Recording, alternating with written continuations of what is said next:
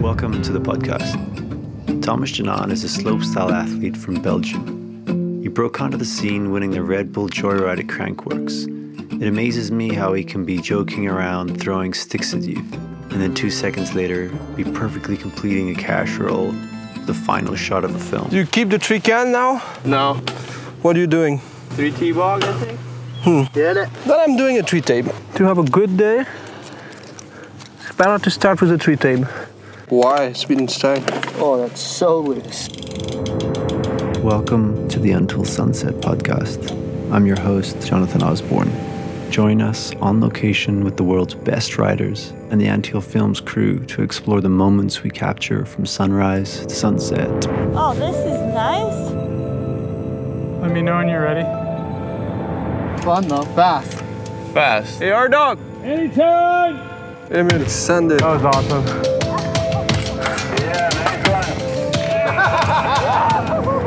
There's something addicting about a mountain bike. Oh! That's the best.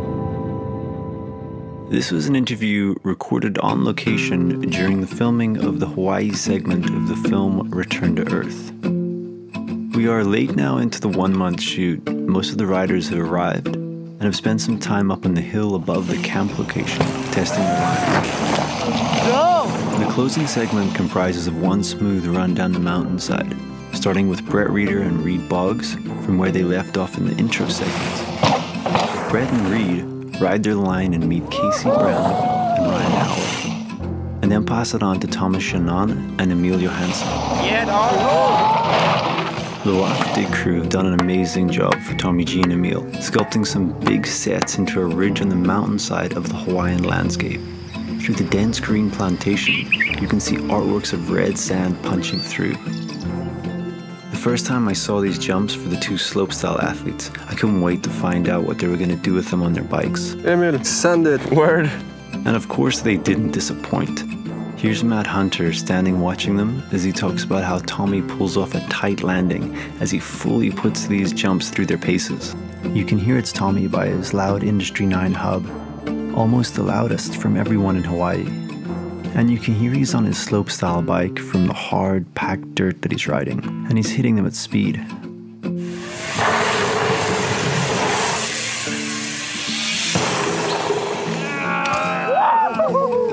Tommy G did a spinning trick and landed like along the left edge of that landing beside the road, the first jump. Oh, Just like shaja, and all this dirt like flew off the side of the landing. Like he wizarded it. Like he is so lucky, man. It was quite something to see all the riders watching each other and really just enjoying themselves out in this landscape. It's cool just to disconnect from so many different distractions and everyone just get out and ride their bikes. And you can really see this in the segment. So there's a bit of spare time during the middle of the day, and I get to find out how Tommy G has been enjoying Hawaii. So, Tommy, we take a little break from riding during the day here. What do you think of the camp setup we got? Well, the camp is cool. Um, super quiet.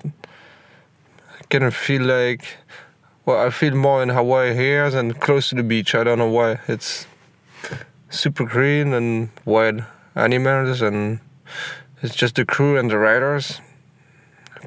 I think it's a good time having dinner and uh, just cruising at the camp. Yeah, other than mountain biking, what have you been getting up to here?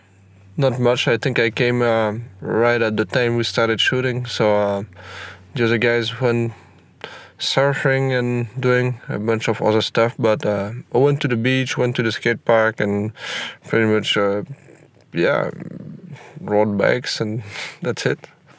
So yesterday we got to go over and check out Pipeline. What were your thoughts on checking out such an iconic surf location? Oh yeah, What did you think? there, I watched video videos of uh, like the big waves and stuff, but when you get to see it in real, like the waves seems to be like five times bigger. You're like wow, and uh, I think it was the first time for me to just get in the water when a few waves uh, were there the, the first day, and just with like small one, I already felt like I was gonna die sometime. So uh, when you get to see like super tall waves, that's impressive. And did you give this surfing a try? Did you go for a little paddle out, maybe somewhere with smaller waves? Uh, I'm not sure if I'm gonna say hopefully later this week, but we see if the other guys force me to. One of the ideas that we're driving with the film is living in the moment. People often talk about how being on a surfboard or on a snowboard or on a mountain bike can push you into a flow state where everything almost slows down. What's your experience with Uh, this? I think that's the the best feeling I know. Sometimes it happen in contests. As soon as you drop in, you know what you gotta do, and you almost have that feeling that you know you you're gonna land everything. Or even if you at home riding riding a trail that you know, and you have that feeling that this you're not gonna crash, you're not gonna get hurt. You just gonna rip the trail and have fun. Yeah, for, for sure. Is there anything else other than mountain biking that you get that experience from? Uh, I just ride mountain bike, so I guess uh, I guess yeah. I I had that when I was snowboarding a few years back, but I think it's when you're really into something that you like. Yeah, for me it's mostly mountain biking or having sex with my girlfriend.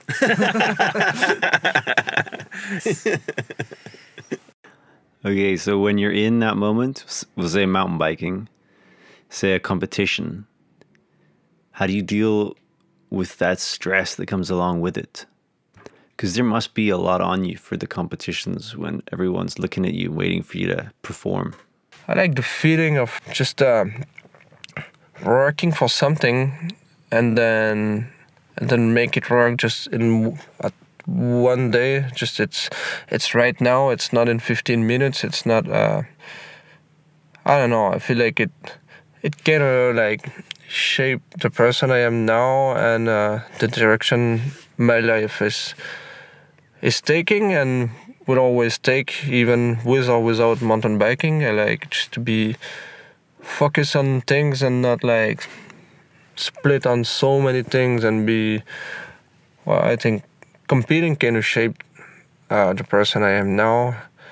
I'm not sure exactly why because none of my parents are like that or like all my friends or I think it's just me who who like the feeling of um, being died on my bike and make it work whenever I want. Like sometime I had like the worst practice ever, but at the time of the the run, everything works, and that way I can feel I don't know.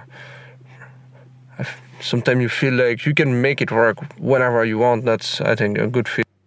Yeah, you, you said there how you don't like to focus on a whole load of things. Yeah. You rather just focus on the one thing, even in your outside life. Well, this two kind of person, like the person who would focus on just one thing and try to make the best of it, and some people that are good at like everything. But I'm the other kind of person that uh, I like to just know that I put all my energy in that thing, that I don't have anything to regret or Yeah, no regrets. well, I think not saying that the way I see it is the best way to see it because uh, good and bad. Because as I only ride bikes, of course I'm like there's a lot of stu- stuff that I probably would love to do, but I'm not even trying. But I'm not really sad about it because I don't know. I just know that my priority is riding bikes. That's what I really like, and. Um, it might change with the time, but right now,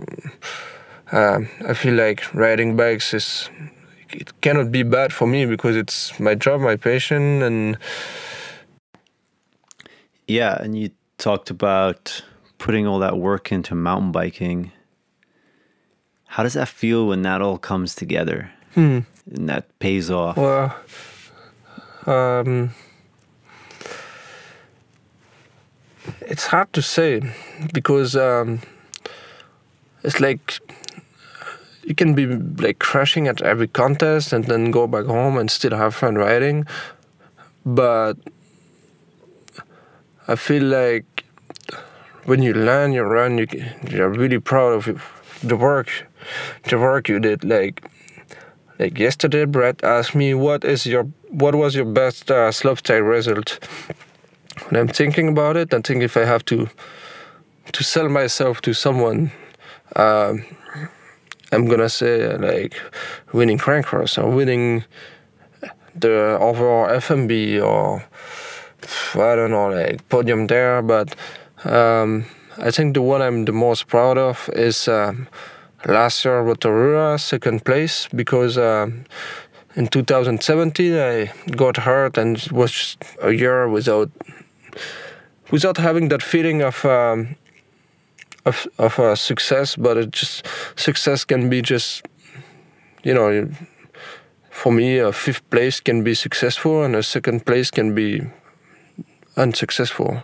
It's like it just for me. It's not like really to say like hey I won that I beat that guy or it's just like I knew that in Rotorua 2018 it was after a year of just crashing and getting injured. And I was kind of in the mind, mindset that I felt like I was not gonna do it anymore, but I still try my best anyway. And I did nothing else than training slopestyle in the all winter because I know that if I'm not giving a chance to that, if I'm doing something else, then uh, I'm gonna regret it. So. Um, so Thomas is talking about his second place run in Rotorua in 2018.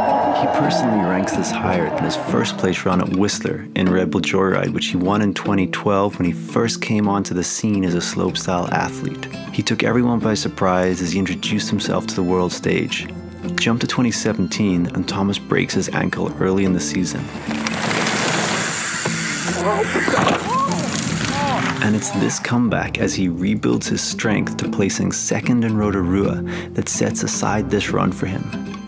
Before he drops in for his second run at Rotorua, he's sitting in fifth place, and you can see his excitement dropping in, pumping himself up. Thomas drops in with an opposite 360 one footed can, tail whips the shark fin, then a big front flip. Chemical points out that he's the only rider doing 360 tuck no-handers off the flat drops. Thomas ends with a big truck driver to a tail whip. So a 360 bar spin, and as he starts to come back round out of his 360, he throws in a tail whip. He lands both feet on the pedals, but his right foot slides off as he compresses the landing. You can see in his eyes how much he's enjoyed this run, and so much energy that he has even after his run that he rides the berm like a little quarter pipe and foot jams the top of it. Back into the interview now, and Thomas is talking about how he achieved the second place by not throwing a big trick and hoping to land it, but instead by riding his normal style on his slope bike, coming back from injury. Regret. So, um, so I haven't really rode much down here, or I just rebuilt my old backyard to look like a slopestyle course and just rode bikes and did absolutely absolutely nothing else and um, I show up in Rotorua and I get second with just my my riding. It wasn't even like I sent the insane big trick and by, by luck I landed and finished second. Was just like my overall riding that I did all winter long that paid off and for me this this was successful. And right after that I was feeling good on my bike but got hurt again and uh, my mindset wasn't really at the right uh, place to compete, I think, and kind of messed up like half of the season, crashing at two Crankworx, and I had that feeling that um, I wasn't gonna do it again this year, or got hurt too much. And then in Whistler, I, I think I landed like two perfect runs to me. Like the first one was like maybe my 50% riding of what I was doing back home and got me fifth. And then my second run, I really like, I think rode like 85% and landed everything perfect. And I was really proud of what I did. I expected a better ranking, but at the end I finished fifth.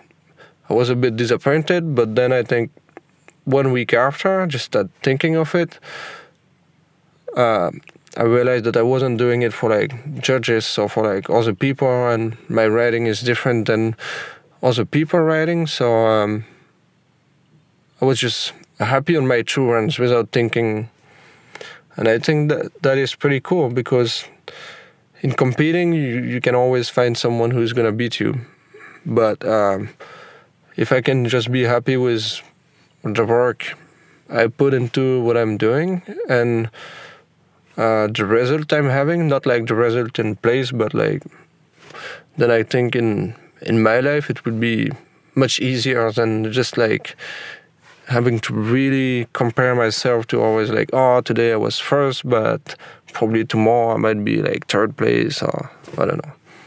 Feel like this could be more stressful. Yeah, it's cool to see hear you talk about focusing on self improvements like that. You can see that as well with your the tricks and the way you ride.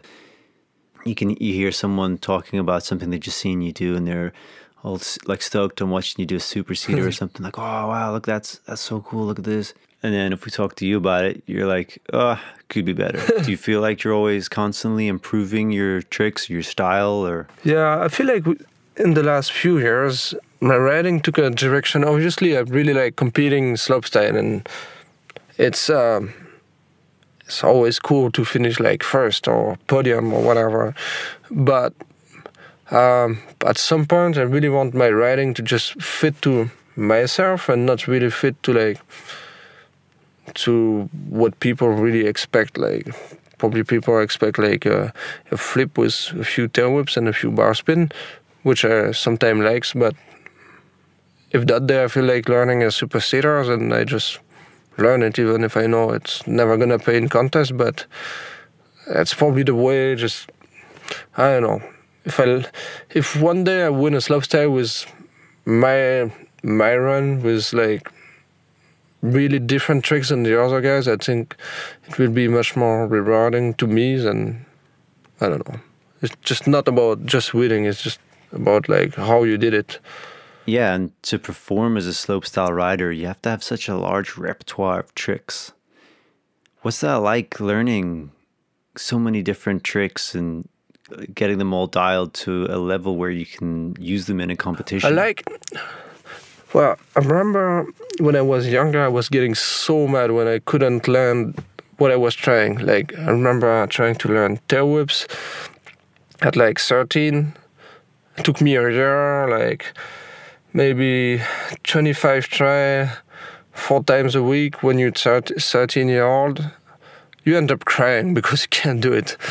But now I really like all the process of learning. Like I'm almost almost don't get mad when I'm when I'm failing, when I'm trying. I just really like to understand how to make that trick. Like well it could be for casual. A casual is kinda like a wide trick that no one can really explain. Like you ask and somebody's gonna tell you, all right, you have to to do front flip, turn your head and but then I was like, okay, this trick no one understand it. I'm gonna try to understand it, and then uh, just the, the whole process to like you failing, failing, but when you're failing, you you can see like okay, I failed that. I'm gonna change this, and then you fail again, but a different way, and just understanding how how to make it work.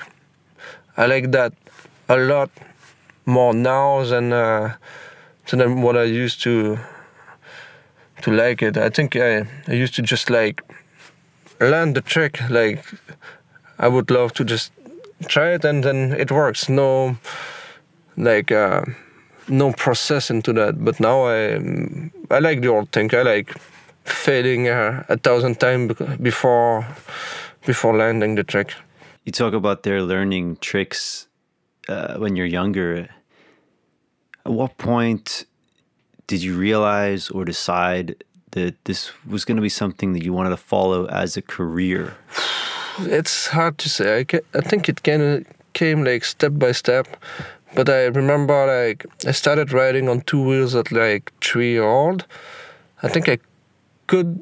My dad told me that I probably could do it way before, but I was just like happy on my three wheels, and um, he bring me to a three-hour motocross uh, competition. I watched the guy and I asked my dad, "Why does it not on three wheels?" And he said, uh, "Well, the rear the the rear riders ride on uh, two wheels." And I was like, "Wow, okay." Then that day went back home and learned how to ride two wheels, and uh, it works first try. So I was uh, yeah maybe just myself again who likes to be just doing the same thing always. But um and then after that just riding riding and riding i don't know like i was kid and i was just riding bikes. Uh, i don't know why but i like it riding bikes. But i also remember i understood that if i wanted to ride bikes every day in my life i needed that as my job because you well people tell you that if you want to live you need a job. So um, i don't know. As a kid i was like okay but uh, i want to ride bikes every day. So i was watching my parents going to work at 8 and coming back and it was dark and that's it. And uh, so i was like okay so if I want to ride bikes every day, then it has to be my job. But the problem that 15 years ago in Europe, mountain bike, uh, you're not making a job out of it. So it was a bit complicated. But then a few years after, like 10 years after, you could see like contests and like all the American guys like making a living of riding bikes. I don't think I have a dream of making a lot of money out of mountain biking. I think I just wanted to be able to ride every day. And i think that's step by step that kind of stuck in my head that i had to be good at riding if i wanted to ride every day. Yeah so to bring it back to where we are now and the shoot that we're on here in hawaii for your segment it's yourself and emil johansson. What's that been like for you? You two guys working together on your little section of the final run can you talk about that a bit for us? Well, I know that we look the same, like tall, white guys on a slopestyle bike with bear helmet painted Red Bull, dressed in black with dark bikes. And uh, we do bar spin, spin, and tail whips. But I think we really tried to have, uh, well, it was only three jumps, and we tried to have different kind of uh, tricks, which are kind of hard because we both compete in the same contest. And we are both in the middle of the winter and practice time before the next contest. So we should be doing almost the similar, like a similar kind of trick, but we cannot try to have like really different things. That why, that's why Emil went for like a in tape to double bar instead of like any kind of like spin or like flips. And um, that's why we choose a good looking trick instead of like the hardest things. And Emil still uh, track downside the last jump and well I think the contrast between a track downside and just like the oldest tricks ever the Superman grab I think that's that's pretty cool. It's just an extension trick that would never get paid well in contest compared to like the newest trick, a uh, trick to downside tail whip, which you can only see a few guys doing at the moment. Yeah, that's cool. I like that you're so aware on yeah. Uh, what's needed from a filming aspect as well. Yeah. In that you want to go for something that looks visually good. Were you going for something that looked cooler than Emil? I don't know what what is cooler. It's really subjective. Like uh, someone would say, "Why are you doing a Superman sit grab next to a 360 with a bar spin and a switch whip?" Let's just pause this right here. This is an interesting thing that Tommy points out. There's a lot happening during the final Hawaii segment of Return to Earth. Brett Reeder and Reed Boggs have just ripped down from the top of the mountain, while Darcy Wittenberg is racing next to them on the Sur-Ron, an electric motorbike. Beauty. Darcy has a full camera rig attached to his back and is transmitting the picture to a side-by-side 4x4 which Fraser Newton is rallying down the mountainside. Trying to stay within reach of Darcy on the electric bike. Down a rugged mountainside. On board the side-by-side that Fraser's driving is cameraman Darren McCullough, who is using a Freefly system to control the camera on Darcy's back and Colin Jones is there to direct them and coordinate this crazy setup. Okay, Darce, we are in point A and we have feed and and Movi, um, but we're just tweaking one or two things here. Next, Reeder and Boggs meet up with Ryan Howell and Casey Brown, who now take over.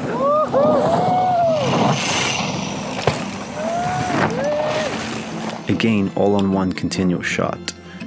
Ardog and Casey now shred some berms and race down the Hawaii landscape on their downhill bikes. Good luck to the film crew to keep up with that. Amongst all of this one take, the next riders are waiting down the hill for a high speed pass of the baton.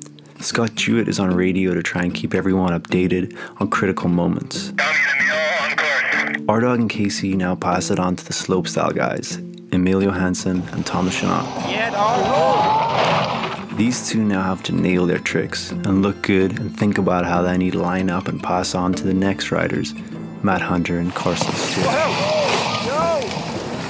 And if Emil or Tommy G don't nail it, it's cut and reset for everyone back to the top. And still, Tommy G knows exactly what he and Emil were doing. I had to watch back to check, and he was right. Someone would say, Why are you doing a Superman sit grab next to a 360 with a bar spin and a switch whip? So he's talking about what Emil is doing in front of him, and here is what Emil is doing.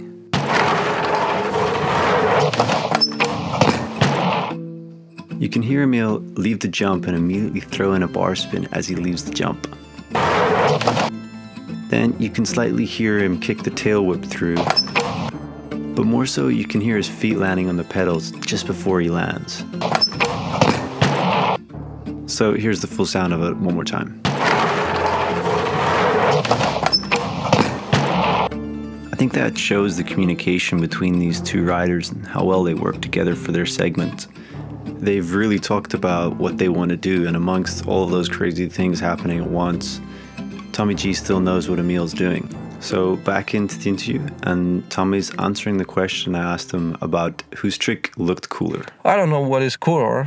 Like, I could have done a trick to whip and Emil Superman sit grab. I think both tricks are cool. Well, to me, but uh, I actually learned a track to whip way before I learned Superman sit grab. So I just felt like doing a Superman sit grab. and Emil, uh, Emil likes the tracks, but I don't know. And who do you think had more fun out of everyone? It's hard to say with Emil because a track downside for him is not the same thing. Same thing for for the other guys. He do, does it so easy. So he might had a. He was maybe more relaxed on his track downside than me on my Superman sit grab. I have no idea. That's cool. You guys got paired up for the segment here, and then and you still just worked so well together. You guys clearly have a good relationship. Oh, Emil? Yeah. Wow, super cool. Yeah. Yeah, super cool. Well, he's how old is Emil? Twenty? He's, he's young. I mean, I'm young too, but uh, can't really ask so much from someone who is twenty. You know, it's like he just started in mountain biking, so and I feel like he already knows a lot. And he's a nice guy. I mean, I don't have any problems with him, as I don't have any problem with anyone here. Yeah. Maybe at the end of the week, I start fighting Brandon. And did you guys talk about the tricks you wanted to do together before? It seems like you you were really on it with what what it you guys were doing. Yeah, we actually we changed like every runs. Like the day of the shooting, we changed everything. Like five runs before we started shooting, like the first day, then we it got too late. Um, I had a complete different run. I was doing super cedar on the first jump, but on the shoot I did it on the last one. I had no track on the last jump. Uh, I mean, I think I was gonna track to whip the last jump and Emil track downside. And then I, I decided to change everything last minute, as always. but yeah, and Emil changed his track like thousand times too. You say the double track two in tape on the last jump, and then track downside, and then oh maybe three tape. No, okay, I stay on the track downside. I, I don't know. I change like thousand times because we know it's not a, a contest run. So if people want to see contest tracks, then they can just watch the replay of Rotorua. They don't need to watch Return to Earth. So it, I think it makes sense to do different stuff. Does it compare at all something like this we're filming and there's so many riders that need to time themselves together along with the filmers? Does that sort of riding pressure compare at all to maybe a competition in any way? Like in the way we we are riding? Could be the way you're riding or maybe the way you prepare before. No, but it is not less less uh, pressure on yourself because it's like in one shot, which is I think super complicated for. So I mean, especially for you guys, but um, I was thinking that okay, a contest run, you just need one. You just need to land one out of two. Of course, they are all your hardest tricks, but here you need to land it countless of time because it's not only about your riding; it's also about the filming, and there are also like it's like a lot of other guys. So I would say don't pick a run that you have like just gonna land it once and not want to do it again. Like I pick tricks that I could do over and over, tricks that I really like. And I think filming fits really well with my writing because it's more stuff that I like, making it look good. And you make it look good when you have fun, and you make it look good when when you do them a lot. So um, I could do these runs like all day long, and I like the tricks. And um, as always, but when when the other guys are showing up and you're about to drop in, you still have that feeling of you need to land it now. Like you're not overshooting one jump and you're not doing it over and over. You need to land it now. Maybe if I fucked up once, it's not a big deal. But if I fucked up all day, then I'm fired. Us too. You do a lot of riding and contests and competing. What are your thoughts on the filming side? Working on movies like this, mm-hmm. what's it like having something like this captured and spending so much time on the visuals and just trying to pull this all together into one solid piece for people to watch? Yeah, yeah. That that's that's the thing. Like uh, a contest, it get it get all like if I watch my contest run three years ago, I'm like, well, I wasn't I wasn't bad, but it's nothing compared to now. Or if I watch my uh, winning run at Joyride when I was 18, well, it's nothing compared to what you have to do now to win it.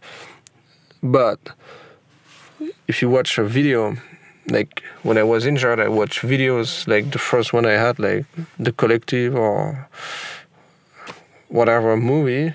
Uh, you still super stoked on everything they're doing, like the places they went, like the trails they were riding, and what they were doing. Maybe the riding wasn't as impressive as now, but it's still the contrast is still way closer in movies than um, than in contests. Like contests are great for yourself, or like how happy you are after you land your run, or after you win a contest or whatever place you were looking for.